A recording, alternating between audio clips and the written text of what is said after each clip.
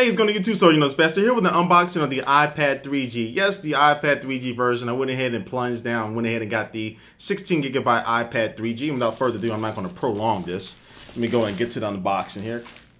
And uh, so, yes, yeah, so I didn't want to wait in line for the uh, iPad 3G. The line was just as long as the one just for the regular Wi-Fi only iPad um, when I went to the Apple Store that day. But so I went ahead and just placed a reservation, and uh, they sent me an email today saying that it was available for pickup at the Apple Store. And so we're going to get right into it. And this will be just the first video. It's a little reserved there. But this will be the first video on my series of videos. I'm going to do some uh, network tests, some real quick network tests of this thing compared to the uh, iPad Wi-Fi. And all right, there we go. They're looking nice and shiny there for me. How you doing, baby? I'm gonna set you to the side real quick. We'll get to her in a little bit later. But just like the regular um, iPad Wi-Fi version, got the little manual here with all the instructions and all that.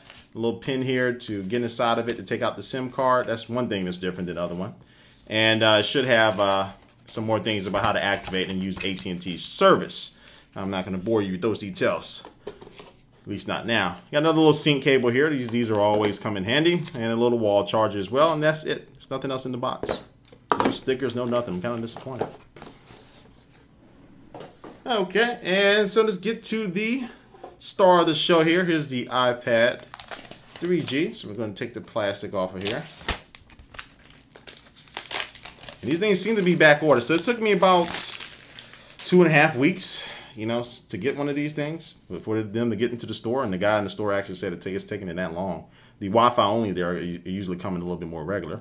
But here it is, nice screen, looks the same, looks nice and clean. It's always good to have a nice screen here, but my fingers will do some damage to it very quickly.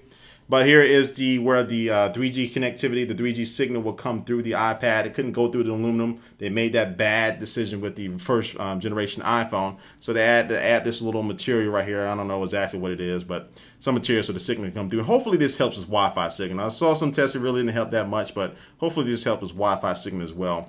But uh, other than that, here it is, the iPad 3G. And so I'm gonna go ahead and turn this thing on, but it's going to tell me I need to sync to iTunes. But I'll have some more videos going over, again, some network tests with this thing. And I'll make a video just explaining whether you should get this one or the uh, Wi-Fi version. But anyways, Soldier Knows Best there. Thanks for watching, and I will catch you later.